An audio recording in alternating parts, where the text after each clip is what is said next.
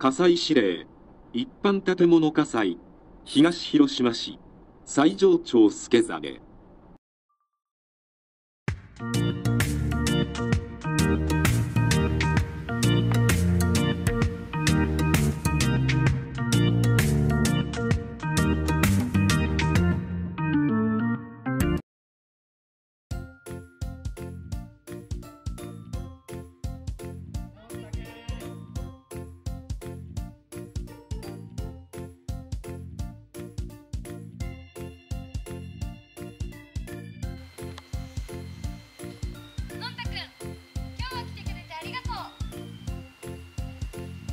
消防署を紹介する藤川消防士とよ佐々木消防士です。ろしくお願いします。私たち消防職員は地域の方々の安心安全な街を守るため24時間365日仕事を頑張っています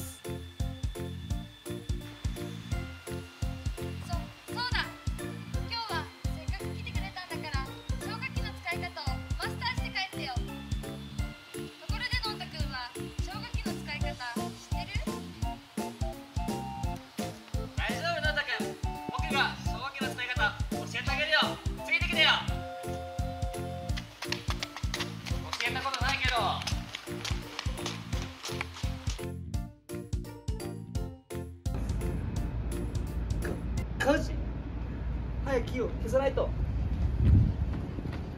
あ消火器ってどうやって使うんだ？うわー。早く火を消さないと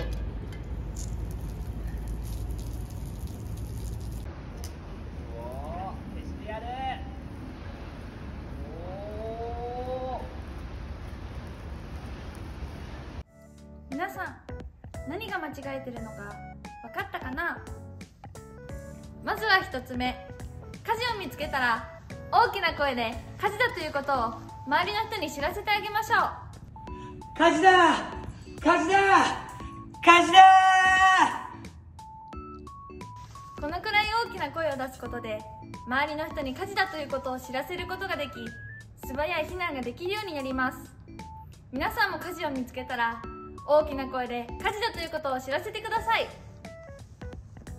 2つ目ピンポンパンで覚えよう。この原因はピンを抜いて運んでしまったからです。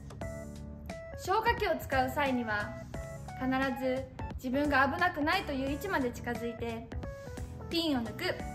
ノズルを構える。レバーを引く。この動作を忘れないようにしておきましょう。覚えやすいように。ピンポンパンで覚えましょう。皆さんも一緒に。ピンポンパン。3つ目。距離に気をつけよう。